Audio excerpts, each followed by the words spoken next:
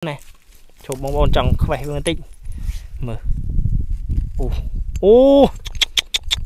ជុំអានេះមាត់អីពីងហេមែនទេក្អមក្អមក្អមក្អមបងប្អូននេះក្អមនេះឃើញទេស្អាតណាស្អាតណាអូស្ដាយណាបាក់អាកណាត់វាបាត់វាអត់នៅទាំងមូលណាអូឆ្កឹះតិចតិចតិចតិចដល់បាទតិចតិចតិចតិចហឹមឆ្កឹះមកឆ្កឹះមកឆ្កឹះតិចតិចតិចតិចដាក់បែកតិចតិចថ្នមថ្នមបាទថ្នមថ្នមថ្នមថ្នម អូអានេះនៅបំបែងធំមកស្អីជាងចេះអូបងប្អូនហើយនេះអូ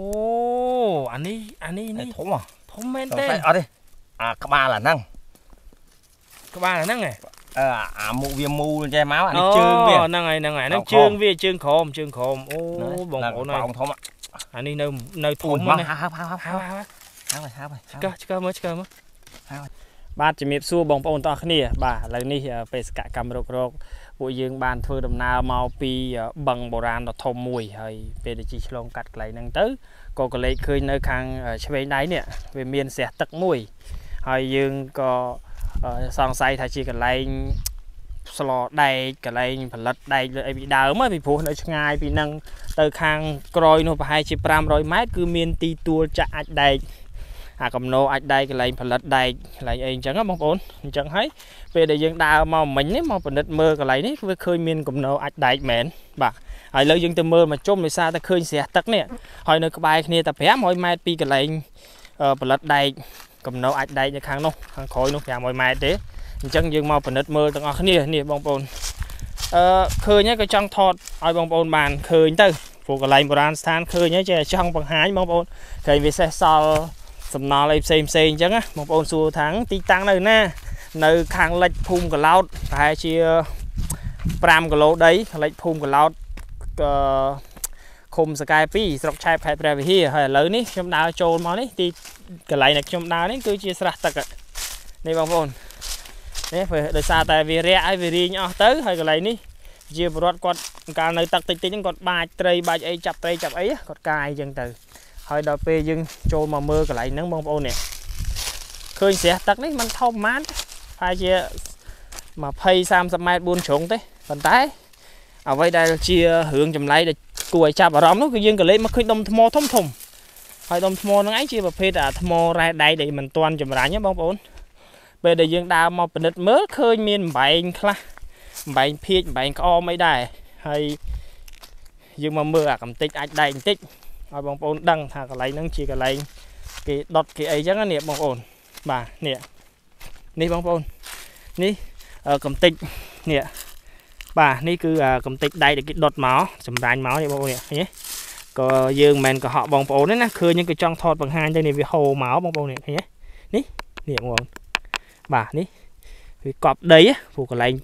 ចំការគេនេះច្រើនណាស់នេះដែកហ្នឹងគឺច្រើនមែនតើនេះបងប្អូននៅមួយដុំហ្នឹងអា ហ្នឹងគឺសិតតែកន្លែងបុរាណស្ថានណាកន្លែងផលិតដែកបងប្អូនបរោះយើងពីដើមឡើយបងប្អូននេះឃើញទេនេះហូរមកអញ្ចឹងឃើញទេច្រើនណាស់នេះនិយាយទៅពេញដីហ្នឹងបងប្អូននេះនៅក្នុងដី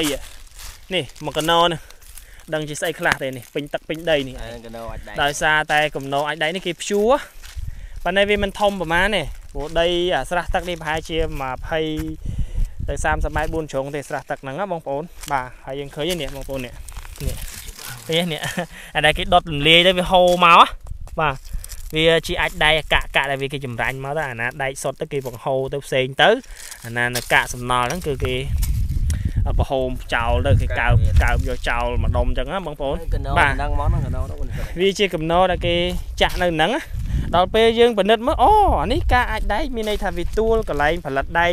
មួយកន្លែងទៀតព្រោះវាអត់ឆ្ងាយពីខាងនោះទេព្រោះខាងនោះតែអឺ 500ម៉ែត្រនៅខាងនោះគឺយើងប្រទះឃើញទួលអាចដែកមួយបាទហើយនេះបងប្អូននេះហឹមឃើញទេបងប្អូនណាមើលបាទគឺសបោមែនតើនៅក្នុងអឺតំបន់មលូព្រៃស្រុកឆែបខេត្តព្រះវិហារនេះហើយបងប្អូនដែលបានសិក្សារៀនសូត្រប្រកាសជាដឹងហើយថាតំបន់មលូព្រៃជាតំបន់ពុរេប្រវត្តិបាទតំបន់បរិវត្តណាអញ្ចឹងតំបន់បរិវត្តនេះគឺថាមនុស្សរស់នៅតាំងពីសម័យបរិវត្តមកមានកាកសំណល់សេសសល់យូរយារណាស់មកហើយឥឡូវយើងដើរមកជុំស្រះទឹកហ្នឹងដើម្បីពិនិត្យមើល ពីព្រោះក្រៅពីអាចដែកយើងឃើញនៅសំណល់អំបែងធៀចអំបែងក្អមអំបែងអីអញ្ចឹងណាអញ្ចឹងយើងចង់បង្ហាញបងប្អូន បាទយើងចេះតែឃើញហ្នឹងកម្របានឃើញកន្លែងបុរាណស្ថានអញ្ចឹងអញ្ចឹងបងប្អូននេះនេះថ្មនេះបាទនេះបងប្អូននេះបងប្អូននេះបងប្អូនមើលណាបងគាត់រើសមិញនេះឃើញទេកាឡានៅកលាក់កលាក់នេះនេះវាដូចជាពីងធំហ่ะក្រាស់ធំហ៎ធំក្រាស់ហ្នឹងជាប្រភេទពីងណា បាទបងប្អូនហ្នឹងជាប្រភេទពីងណាបំបែងពីងហើយនេះអឺនេះជាជារ៉ែដែករ៉ែដែកអត់ទាន់ស្លបងប្អូនបាទអត់ទាន់ស្លទេរ៉ែដែកនេះឃើញទេធ្ងន់ណាប៉ុន្តែវាអានេះវាអត់សូវក្រាស់ហើយមានន័យថាសាច់រ៉ែវាស្ដើងណាបាទស្ដើងមែនតើហើយអ្វីដែលយើងអឺមានការចង់ដឹងឆ្ងល់មួយទៀតនេះយើងឃើញអាបំបែងនេះយើងឃើញអាបំបែងពីងបំបែងក្អមបំបែងភៀកបំបែងអីផ្សេងផ្សេងហ្នឹងណាបងប្អូនបាទឃើញទេនេះសេះសំណោះ សល់ថ្មសល់អីហើយបំបែងសល់ច្រើនណាបងប្អូននេះអូអានេះពីងនេះវាក្រាស់ក្រាស់ដូចផើងដូចអីចឹងណាបាទឥឡូវបងប្អូនដើរទៅមើលមួយខ្ញុំបន្តិចទៀតដើរមើលឆែកមើលកន្លែងហ្នឹងបន្តិចទៀតដោយសារតែជុំវិញហ្នឹងប្រជាពលរដ្ឋគាត់ព្យួរធ្វើជាការដាំដលងដាំអីហើយបាទគាត់ដើរអឺគាត់ធ្វើចំការធ្វើអីចឹងទៅនេះបងប្អូនសំណល់នេះបងប្អូននេះនេះ យូរហើយណាបងប្អូននេះឃើញទេមាត់ដូចជាមាត់នេះមាត់ពីងនេះអញមាត់វាឃើញទេមាត់វានេះមាត់មាត់ខាងបាទហើយបើតាមយើងមើលបងប្អូនយើងមើលជាក់ស្ដែងទៅលើអឺអានេះគឺដុតពីដីណាដីហ៎ឃើញទេដីឥដ្ឋលាយខ្សាច់ហ៎ឃើញទេដីដីឥដ្ឋណាប៉ុន្តែមាត់នេះជាមាត់ពីងមាត់នេះហ៎ធំមាត់នេះធំហ៎អាអាអាមាត់ខាងលើស្រាលទេស្រាលស្រាលជាងគេស្អាតប៉ុន្តែអឺអានេះយូរហើយនេះ អានេះមិនមែនអានេះអាចមុនសម័យអង្គរនៅក្នុងសម័យចេនឡានេះបាទបងប្អូនយើងអានេះយើងទុកនឹងម្ដុំហើយយើងឃើញច្រើនណាហើយយើងចង់នាំបងប្អូននេះបងប្អូនណាមើលមើលបរិវេណហ្នឹងសិនគឺចំការប្រជាពលរដ្ឋហើយបាទចំការប្រជាពលរដ្ឋគាត់ព្យួរគាត់ព្យួរម្សាដាំដលងដល់ពេលវាដុះព្រៃត្រែងព្រៃអីមកខែ5ទៅគាត់ដុតទៅដលងហ្នឹងដូចជាមិនទៅដុះល្អទេបាទអត់ទៅដុះល្អទេហើយបងប្អូននេះបងប្អូននេះបាទនេះអំបែងនេះទៀតមកកណោច្រើនមែនតើបងប្អូនណា នេះបងប្អូននេះនេះនេះឃើញទេបងប្អូននេះអានេះស្ដើងឯងអានេះអាចជាក្អមស្ដើងណានេះនេះមួយទៀតបាទហើយនេះទៀតបងប្អូននេះល្អិតល្អិតនេះនេះមាត់វាបងប្អូននេះបាទមាត់វាហ្មងឃើញទេបងប្អូនមិនចេះតែមិនចេះតែនេះណាឃើញនេះបងប្អូននេះនេះច្រើនមែនតើនេះនេះហ៎ពេញដីហ្មគឺងពេញដីហ្មងនេះនេះនេះនេះនេះនេះនេះឃើញនេះបងនេះឃើញទេនេះគឺគ្រប់នឹងយ៉ាងហ៎បងប្អូននេះសិតតែអំបែងហ្នឹងហ្មងមានន័យថា កន្លែងនេះពេលដែលគេព្យួរទៅវាបាក់បែកតិចតិចអស់ណាហើយដីច្រើនមិនច្រើនមែនទេកលេកលេទៅឃើញហ្មងហើយយើងព្យាយាមដើរមើលថែមទៀតបងប្អូនបាទដើរមកនេះតិចទៀតព្រោះអឺបរិវេណកន្លែងនេះអូនេះបងប្អូននេះហឹមច្រើនណាស់បងប្អូនកលេទៅណាក៏ឃើញណាដល់ពេលអញ្ចឹងនេះបងប្អូននេះពេលដែលគេព្យួរទៅបែកតិចហ្មងអូភ្លេចមើលមកខាងនេះណានៅជាតិថ្នាំទៀតបងប្អូននេះណាមអូ ណាមនៅសល់បាទចុចថតឲ្យបងទុកប៉ុសនេះបងប្អូនបាទស្អាតហើយនៅថ្នាំអានេះនេះអានេះរបៀបពីងវែងវែងអាពីងពីងដូចពីដូចគេហៅថោវែងវែវែងងវែងហ្នឹងបាទកវាកវាវែងណាវាមានពណ៌បងប្អូននេះហើយច្រើនណាស់នេះឃើញទេនេះហឹមគេព្យួរបែកតិចកន្លែងនេះវាអាចជាកន្លែង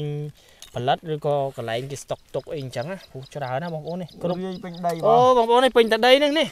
គេព្យួរពេញហ្នឹងមាត់អត់នេះកតិចនេះចោតអត់កតិចអើបងប្អូនអាអាកទួលទួលនេះគេផ្គុំណាគេផ្គុំលើករងគេផ្គុំលើករងដលងណាបងប្អូនអូទៅបាទតិចគេផ្គុំលើករងដលងនេះមួយទៀតអូតែមិនឃើញមួយទៀតនេះនេះអូបងប្អូននេះពណ៌នៅហ្នឹងបាទថ្នាំថ្នាំនៅហ្នឹងស្អាតតែម្ដងនេះអូអូបងប្អូនណៃនេះឥឡូវឲ្យមើលបរិវេណក្រៅភាសាទៀតនេះគឺចំការប្រជាពលរដ្ឋដែលគាត់អឺគាត់ព្យួរគាត់ព្យួរដាំដលងហើយដលងនេះ ដូចជាមិនសូវដុះល្អទេដោយសារវាដុះស្បូវដុះត្រែងពេកអញ្ចឹងណាបងប្អូនអូកន្លែងនេះនេះនេះនេះនេះនេះនេះនេះនេះអានេះស្អីគេចេះជុំឆ្កឹះតិចមើលយ៉ាឆ្កឹះតិចមើលអានេះដូចធំណាស់អូអំបែងណាស់ជួយស្អីចេះអូអានេះក្រាអានេះអាចជាពីងនេះហឹមនេះពណ៌ផ្សេងទៀតនេះអានេះអូបងប្អូនអានេះពណ៌កម្ៅនេះពណ៌ខ្មៅខុសគ្នាអូទុំ មកកន្លែងនេះនឹងអាចជាកន្លែងនេះគេស្តុកទុកអីមួយឬក៏ច្រើនច្រើនមែនទែនបែកនេះមិនមែន2 3 4មកបែកទេមិនមែនទេអូនេះបងប្អូនមួយទៀតអូកន្លែងតាណាក៏ឃើញដែរបងប្អូនពេញកន្លែងដីនេះកកអូវាមកអានេះក្អមដូចដូចមាត់មាត់ណាមាត់ហើយមាត់វាបងប្អូនអើយខ្ញុំមិនដឹងជួបបាយមិនដឹងហ្នឹងមិនដឹងនិយាយថាម៉េចទេបងប្អូន ព្រោះកន្លែងនេះវាជាកន្លែងបុរាណស្ថានមួយដែលនៅសេសសល់អំបែងហ្នឹងគឺវាច្រើនមែនទែនមិនមែនតែមិនមែន3 4ចំណិតទេណាច្រើនណាស់ហើយដីទៅពេញដីហ្នឹងតែម្ដងហើយបាយទាំងអស់ទំហំដីនេះបរិវេណកន្លែងហ្នឹងវាមានដុះស្បូវដុះអីនេះវាប្រហែលជា100ម៉ែត្រមួយហាត់ដីនេះ100ម៉ែត្រ4ជ្រុងបងប្អូនណាដីធំណាដីធំមែនទែនហើយនេះដីពេញស្បូវហ្នឹងយើងដើរចេញពីក្បែរស្រះមកប្រហែលជា50 60ម៉ែត្រទៅលេងអឺឃើញអំបែងទៀតនេះតូចតូចនេះនេះនេះនេះ នេះតូចតូចទេមានន័យថាបែកពេញដីហ្នឹងគេព្យួរផងណាជួបបាយវាខ្ជួរទៅវាបែកខ្ទេចណាអូអានេះអានេះដឹងបែងស្អីទេសសបងប្អូនអើយឃើញខ្ញុំឃើញប្រទេសដើរមកឃើញចំកន្លែងហ្នឹងនេះឥឡូវយើងមើលទៀតនេះក្នុងស្បូវក្នុងអីនេះបងប្អូននេះវាដោះស្បូវដោះអីណានេះបងប្អូនហឹមនេះសត្វតាមបែងពេញហ្នឹងនេះបងប្អូននេះនេះហើយនេះទៀតនេះនេះនេះនេះគេ អូនេះបាយបាយច្រើនបាទបងប្អូនពេញហ្នឹងតែម្ដងនេះមាត់ឃើញទេបងប្អូនបាទមាត់វាឃើញទេនៅស្រស់ស្រស់តែម្ដងអូស្ដាយបើសិនជានៅល្អមិនដឹងយ៉ាងណាទេបងប្អូនបាទចង់ឃើញអារូបរាងល្អចង់ឃើញអាល្អបាទយើងដើររកមើលឃើញប៉ះអារូបអារបស់រូបនឹងល្អអូនេះបែកតិចទៀតហើយមើលល្អអានេះក្របថ្មនេះនេះនេះនេះនេះនេះបងប្អូននេះជួយអានេះក្រាស់បើនេះថ្មហ៎ហេមែនទេ ជុំអត់ទៀតបានទេអានេះនេះអានេះនេះមួយចំណិតនេះអូអានេះនៅថ្នាំណាឃើញទេនៅអត់មានអីជីកវិញវិញអត់ទេយើងទាំងនេះអានេះនៅជ្រៅអានេះវានៅជ្រៅនេះបែបធំអានេះធំបែងធំហ៎បាទបងប្អូនអឺអឺកន្លែងនេះពិតជាកន្លែងអាចថាជាកន្លែងផលិតឬក៏កន្លែងផ្ទុកមួយដ៏ធំពីព្រោះអីអំបែងនេះគឺដីដែលខ្ញុំស្មានតាមដែលខ្ញុំស្មាននេះអឺដីប្រហែលជាជិត100ម៉ែត្រ4ជ្រុង អាចថា100ម៉ែត្រទេពីនោះមកឆ្ងាយហ៎ម្ដងនេះ100ម៉ែត្រ4ជ្រុងដីវាស្មើ1ហិកតាហើយកន្លែងនេះហើយសិតតែជាអំបែងនឹងសុទ្ធតែម្ដងបងប្អូនបាទសុទ្ធតែអំបែងគ្រុវាបែកឡើងម៉ត់តិចតិចអស់ហើយនេះបាយបងប្អូននេះឃើញទេថាអំបែងឡើងម៉ត់អស់ហើយនេះជួអានេះស្អីគេអូអានេះនៅថ្នាំនេះអាហ្នឹងស្អីពីងអានេះពីងគេគេហៅពីងបងប្អូននេះនេះឃើញទេនេះហឹមហើយនេះក៏ស្អីអឺនេះស្អីគេនេះនេះជុំ អូអានេះជ្រៅហ៎វាវាកប់ដីជ្រៅហ៎ឃើញទេអូជ្រៅហ៎បងប្អូនអើយនេះខ្ញុំខ្ញុំគោះហាត់បាននេះនេះឃើញទេដល់ពេលភ្ជួរទៅបែកខ្ទេចស្ដាយមែនតើហឹមមិនដឹងថាពីដំបូងមកយ៉ាងម៉េចទេណាវានៅច្រើនប៉ុណ្ណាវានៅល្អវានៅល្អច្រើនមែនតើអូនេះនេះនេះនេះនេះនេះអូបងប្អូននេះនេះមកស្អាតអីលយមែនស្រាលអឺស្រាលអឺហើយមិនចឹងនេះអូអានេះនេះនេះស្អីទៅ ចំមើលមិនយល់ដូចជាចានមិនចឹងណានេះមិនណាត់នេះនេះអូនេះនេះនេះនេះនេះអូមាត់នេះដូចជាចានមួយគ្នាហ្នឹងហ្នឹងសាច់វាហ្នឹងហើយបើវាវាបែកនេះមិនតាណាទេនេះណាដូចជាចានណាបងប្អូនបាទដូចជាចានមួយអញ្ចឹងណាបាយអស់ហើយបាយខ្ទេចខ្ទីអស់ហើយនេះអឺកលេទៅណាក៏ឃើញដែរបងប្អូន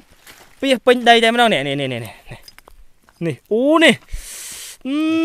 នឹងមូលនេះកតិននេះកតិនណាកតិនណាបងប្អូននេះ អូស្អាតមែនតែនអូយខ្ញុំឃើញខ្ញុំចូលចិត្តណាបងប្អូនឃើញចង់ដឹងវត្ថុបុរាណអូយបាក់បាយខ្ទេចខ្ទីអស់ហើយបងប្អូនអើយឡើងសោះពេញដីតែម្ដងសោះពេញដីសោះ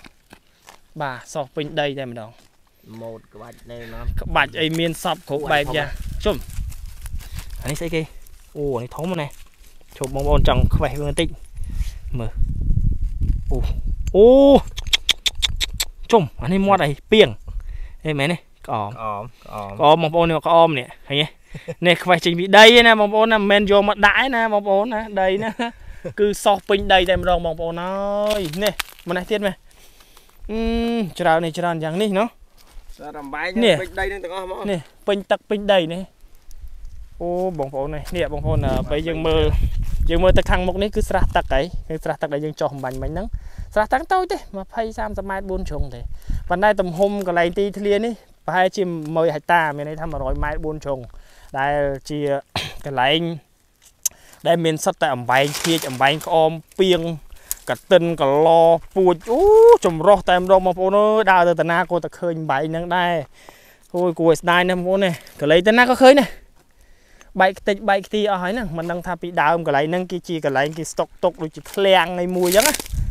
រោងសិប្បកម្មអីមួយក៏ថាបានអូនេះនេះតែតាមបាយបងប្អូនណាគ្រប់កន្លែងមកឆេះខាងខ្លះអស់ណាឆេះឡើងខ្លះអស់លេងហើយអូធំហ่ะឥឡូវយើងដើរមកទៀតកន្លោឃើញទៀតពេលធំធំហ่ะអូបងប្អូនអើយសិតតាមបាយពេញទឹកពេញដីហ្នឹងអឺអានេះគេភ្ជួរដើមដលងអស់ហើយណា ណានេះនេះនេះនេះនេះនេះនេះនេះនេះនេះអូវេបងប្អូននេះអូជុំអីធំអ្ហ៎ធំអ្ហ៎បងប្អូននេះនេះនេះនេះជុំរອບរອບរອບអូវ៉ាវវ៉ាវកម្របធំហ៎បងប្អូននេះកម្របបងប្អូនកម្របរៀងកម្របជុំអានេះនេះនេះនេះខ្លួនវានេះនេះនេះនេះឃើញហ៎វ៉ៃវ៉ៃទេអូយ អូបងប្អូនចង់ឆ្លក់ផ្សែងផេះអូអធិស្ឋានបងប្អូនឆ្លក់ផ្សែងផេះនេះនេះនេះអូនបងប្អូនអើយកន្លែងនេះ ជាកន្លែងមិនធម្មតាទេឥឡូវមុនយើងយើងទៅមើលចង់ប្រាប់បងប្អូនថានៅចងាយពីនេះយើងបញ្ជាក់ម្ដងទៀតថាប្រហែលជា500ម៉ែត្រគឺមានកន្លែងកំណោអាចដែកធំមួយដែរនៅទៅទៅខាងនោះទៅក្រោយវិញណា ពីព្រោះយើងចេញពីបឹងពីបឹងបុរាណនោះមកយើងចេញពីបឹងមកយើងជិះកាត់ហ្នឹងចេះតែឆ្ងល់ឮគេថាទៅហ្នឹងមានប្រាសាទបុរាណដល់ពេលឃើញស្រះទឹកនេះចូលទៅមើលមិញមិនឃើញឥឡូវដើរមកមើលនឹងបងប្អូនអើយនេះនេះក្នុងដីហ៎អញ្ចឹងកន្លែងនេះវាអាចជាកន្លែងរោងសិប្បកម្មណាវាអាចជាកន្លែងរោងសិប្បកម្មណានៅកន្លែងនេះបងប្អូនព្រោះអីវាច្រើនមែនតើឥឡូវយើងរកអីឆ្កឹះវាសិនអូយឈើនេះផុយដល់ហើយ ជួកន្លែងនេះគេទៅជាគេភ្ជួរអស់លីងណា càn rồi chị chân អីឈប់ឈប់ឈប់ឈប់ឈប់ឈប់បែរបែរអូនេះនេះនេះនេះ cầm mỏ về mỏ កុំ mỏ មក là កុំ smile មកវាកុំមកវានេះនេះនេះនេះគេឆ្កាមកអឺជុំអានេះអានេះគេភ្ជួរទៅអើយស្ដាយណាគេភ្ជួរវាណា bạn là từng mũ là អឺនេះគេភ្ជួរខ្ទេចអីហ្នឹងអូនេះនេះនេះនេះ វិញវិញកំមប់ល្អឈប់ឈប់មកខ្ញុំវិញក្បាច់ក្បាច់អេយ៉ានេះវិញយើងមមជាអូយបងប្អូនអើយើងយើងឃើញនេះយើងដើរមកឃើញយើងចង់ឆ្កឹះដីចេញបន្តិចដើម្បីឲ្យអូបាទបងប្អូនស្មើស្មើស្មើអានេះស្មើណាអានោះស្មើអានេះកំមប់លើណាមកលើវាមិនអញ្ចឹងទេគឺជើងត្រជើងតម្រអូជើងពៀនជើងពៀនវាជើងពៀនអាត្រវាខំជើងពៀនអាចាំមើលថាកម្របវាដូចយើងវាមិនស្មើអញ្ចឹងទេ អូយបងប្អូនដោយសារពួកខ្ញុំមកពីព្រៃនោះมันមានស្អីជីកគាស់អីទេព្រោះពួកយើងមិនមានមកគាស់មកអីទេពួកយើងឆ្លងកាត់ទៅឃើញនេះអូបងប្អូនអើយអានេះជាស្អីណានេះនេះនេះនេះនេះនេះយើងកាយតិចតិចមើលកាយតិចតិចអូវែងជើងជើងពៀនជើងពៀនអត់វែងយ៉ាងដូចជើងពៀនបែកកន្លែងនេះបែកបងប្អូនអូវាបែកមកកណ្ណាអូជើងជើងនេះជើងជើងក្រោមត្រត្រមើលមើលឈប់មើលមកកាច់សិនបាទបងប្អូនយើង ឃើញកន្លែងហ្នឹងមួយជុំឆ្ងល់អាអ្នកប្រជាពលរដ្ឋដែលគាត់ភ្ជួរហ្នឹងមិនទៅគាត់មកភ្ជួរកន្លែងអញ្ចឹងឆ្ងល់នេះគាត់អត់ឃើញរបស់ហ្នឹងទេអីបានគាត់មិននេះអញ្ចឹងគាត់ទៅជាភ្ជួរបែកអស់អញ្ចឹងគាត់គួរតែកុំភ្ជួរទុកទៅកន្លែងហ្នឹងគួរតែអាញាធរអីមើលអញ្ចឹងណាអូបងប្អូននេះមើលមើលមើលឆ្កាស់មកឆ្កាស់មកកើជុយ hòn Cưa hòn phóng. cưa, hòn cưa គឺផងហ៎ mà thò chơi này បាទបាទបងប្អូនអ่าបងគាត់ទៅរកឈើសិនហើយខ្ញុំអឺអូយបងប្អូនអើយសុបាយចិត្តណាបានឃើញជើងពៀននឹងមួយនេះជើងក្រោមជើងខាងក្រោមតម្រនេះនេះបាទបងប្អូនអូយនេះឲ្យបងប្អូនបានទស្សនាម្ដងទៀតនៅបរិវេណហ្នឹងគឺចំការនេះឲ្យបងប្អូនឃើញណាបាទនោះរោងមានរោងមួយហើយនេះបរិវេណជុំវិញគឺចំការប្រជាពលរដ្ឋគាត់ដាំដលងដាំអីហើយបាទនេះ ចំការនៅខាងនេះរៀងវាលហើយខាងនេះបាទចំការប្រជាពលរដ្ឋប៉ុន្តែឆ្ងល់ពួកគាត់ជួកន្លែងហ្នឹងដាំអីអស់លេងហើយហ្នឹងឥឡូវបងបងគាត់យកអីមកឆ្កឹះហ៎បាទឥឡូវយកមកឆ្កឹះហ៎ឆ្កឹះតិចតិចហ៎ឆ្កឹះតិចតិចយើងយើងចង់មើលវាយ៉ាងម៉េចបងប្អូនមើលសន្តានរបស់វានេះយើងទៅឃើញនេះរៀងធំក្រៅពីហ្នឹងបែកម៉ត់តិចតិចអស់ហើយបែកតិចតិចអស់តែម្ដងស្អាតណាស្អាតណាអូស្ដាយហ្នឹងណា បាក់អាកណាត់វាបាត់វាអត់នៅទាំងមូលណាអូឆ្កឹះតិចតិចតិចតិចបាទតិចតិចតិចតិចបាទពុកម៉ែបងប្អូនបញ្ជាក់ម្ដងទៀតថាតាមទីតាំងកន្លែងនេះគឺនៅខាងលិចភូមិកឡោតប្រហែលជា5គីឡូស្រុកអឺឃុំសកែ2ស្រុកឆៃខេត្តព្រះវិហារហើយអឺតំបន់នេះវាសម្បូរទៅដោយទីតាំងបុរាណស្ថានជាច្រើនជាពិសេសជាពិសេសគឺអា នេះណាជាពិសេសគឺកន្លែងស្លដែកហើយកន្លែងហ្នឹងក៏កន្លែងស្លដែកដែរប៉ុន្តែមានស្រះទឹកមានអីកន្លែងនេះអាចជាកន្លែងគេផលិតអឺរបស់ទាំងអស់ហ្នឹងតែម្ដងជារោងសិប្បកម្មគេទុកនៅហ្នឹងណាបងប្អូនបាទហើយយើងឃើញបំបែងពេញទឹកពេញដីហ្នឹងបាទបំបែងច្រើនណានេះធំឆ្កើនេះសិនមើលឆ្កឹះអាក្បែរហ្នឹងសិនណាបាទដីដែលកន្លែងនេះគឺប្រជាពលរដ្ឋគាត់គាត់ដាំគាត់ភ្ជួរដាំដលង បាទគាត់ភ្ជួរដាំដលងហើយវាដូចអត់សូវល្អហើបអានេះនេះហឹមឆ្កឹះមកឆ្កឹះមកឆ្កឹះតិចតិចតិចតិចចាត់បែកតិចតិចថ្នមថ្នមបាទថ្នមថ្នមថ្នមថ្នមអូអានេះនៅបំបែងធំមកស្អីជាងចេះអូបងប្អូនហើយនេះអូអានេះអានេះនេះនេះធំហ៎ធំមែនសង្ទេស័យអត់ទេអាក្បាលអាហ្នឹងក្បាលអាហ្នឹងហ៎ អឺអាមុខវាមូលចេះមកអានេះជើងវាអូហ្នឹងហើយហ្នឹងហើយហ្នឹងក្រោមជើងវាជើងក្រោមជើងក្រោមអូបងប្អូនហើប៉យោងធំអានេះនៅនៅធអូំយហ្មមកងណាហើបហើបហើបហើហើបហើយហើយហើបហើយហើបឆ្កឹះឆ្កឹះមើលឆ្កឹះមើលហើបហើយហើបអូបងប្អូនហើយគេភ្ជួរបែកស្ដាយមែនតើណាអ្នកព្យួរហ្នឹងគាត់អឺនឹងនឹកនឹងនិយាយថាម៉េចបងប្អូនហើបហើបអូនេះអូយបែកហើយបានហើយបានហើយចុះបានហើយ មែនអាហ្នឹងអាហ្នឹងជើងក្រោមជើងក្រោមមែនណែធោនេះតម្រូវអាបាតក្រោមបាតក្រោមអានេះថោរបៀបថោណាថោឃើញទេឃើញឃើញទេឃើញជាប់ដីហ្នឹងនេះអាហ្នឹងថោជាប់ដីឆ្កឹះដីចេញហ៎ចុះចេញហ៎អូយបងប្អូនហើយបែកបាត់ហើយហ្នឹងអូ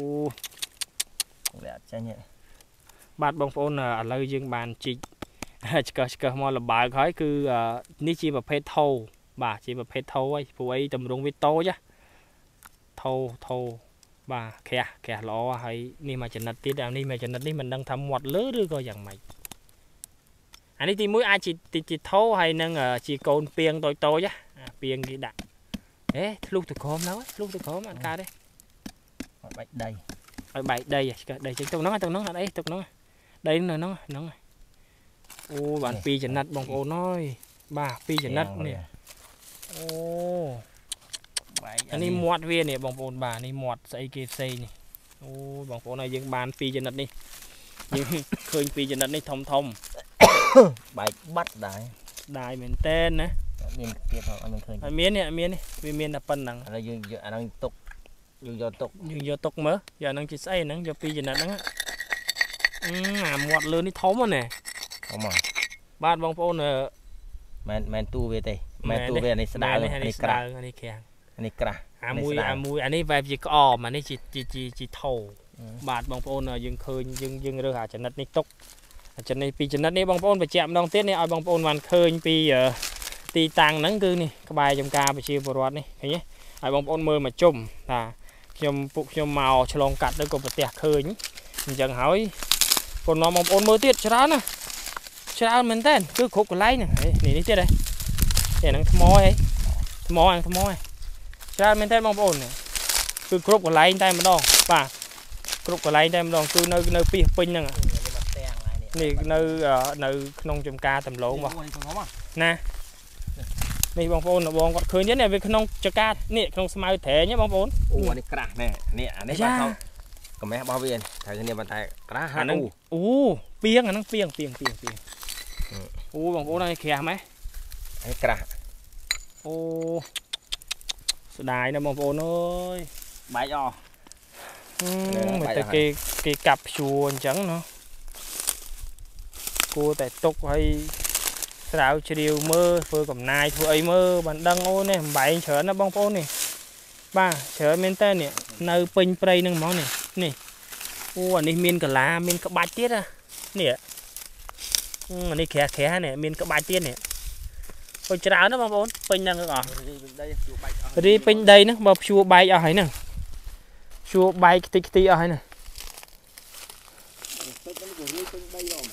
ចុះគេព្យួរទៅវាមិនទៅតាមអាលបាយអាចប៉ុណ្ណាព្យួរនោះព្យួរអត្រាក់ទៀតមិនមែនតែព្យួរគោកបីទេណាបាទបងប្អូនអើយើងយើងយើងមើលក្នុងហ្នឹងទៀតវាដោះទៅស្មៅត្រែងនេះសិតតែ បំបែងច្រើនណាតូចតូចណាបងអាយយអូមុតជើងអឺបងប្អូនហើយកន្លែងនេះខ្ញុំកន្លែងនេះគឺជាកន្លែងផលិតអីយូយអឺបន្លាស្អិតបងប្អូនអើយជាស្រ័យដល់ដំបែកមកហឹមពេញទឹកពេញដីនេះឃើញទេនេះបងប្អូននេះឃើញទេតែតែអំបែងនេះនៅពេញទឹកអូយមុតបន្លាស្អិតមិញបងប្អូនអើយជាស្រ័យចេះអីយ៉ាស់អីយោយហ៎បាទឥឡូវយើង មើលបន្តិចទៀតមុននឹងបញ្ចប់វីដេអូបងប្អូនវាច្រើនពេកវាពេញដីហ្នឹងហ្មងនេះហឹមនេះសិតតែអំបែងនេះនេះនេះនេះនេះនេះមាត់ហ៎នេះឃើញទេហឹមហឹមណាឃើញទេមាត់វាមាត់ទៅតែមាត់នេះនេះនេះពេញហ្នឹងតែម្ដងបាទបងប្អូនពេញហ្នឹងតែម្ដងបងប្អូននេះហើយនេះចំការឃើញទេនេះចំការប្រជាពលរដ្ឋដាំដលងដើមដលងហើយចង់នាំបងប្អូនមកមើលអបរិវេណហ្នឹងឲ្យបងប្អូនដឹងថានេះ ជាបរិវេណចំការប្រជាពលរដ្ឋគាត់ជួដាំដលងដាំអីហើយវាដោះស្បូវដោះអីមកនេះហឹមខ្ញុំឃើញគេចេះតែចង់ថតបង្ហាញបងប្អូនបានទស្សនាកន្លែងនេះពិតជាកន្លែងមួយដ៏ធំសម្រាប់អាចធ្វើភាជធ្វើអីហ្នឹងណាបងប្អូនបាទច្រើនមែនតើនេះហឹមនេះអូបងប្អូននេះក៏ងាកតាណាក៏ឃើញណានេះនេះបងប្អូននេះសិតតែជាអំបែងពេញហ្នឹងតែម្ដងហឹ មមានតូចមានធំអញ្ចឹងណាបងប្អូននេះអូនេះពេញហ្នឹងក៏លេខតាណាក៏ឃើញដែរបងប្អូននេះបាទនេះនេះសិតតែអំបែងនេះបងប្អូននេះ Ừ, thế tầm bài pin tắc pin đầy nè ô này cọp đầy cọp ấy hả nè គឺម្លាយថ្មនេះមួយសារនេះថ្ម